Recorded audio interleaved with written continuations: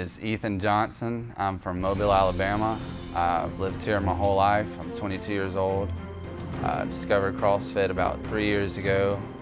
I knew I wanted to become a CrossFit coach after seeing the influence my coaches had on me and other people in the gym. Once I heard about CrossFit Jacked, I reached out to Joe and he gave me the opportunity to start coaching and to hopefully influence other people's lives the way that my CrossFit coaches in the past influenced me and helped me to reach my goals. I'm currently a student at South Alabama, uh, majoring in graphic design. What I love the most about Mobile is people. I have a lot of family and friends down here. I love the southern hospitality. Everybody down here seems to have a good work ethic and that can be carried over in the gym. I like competing. I've been doing it my whole life.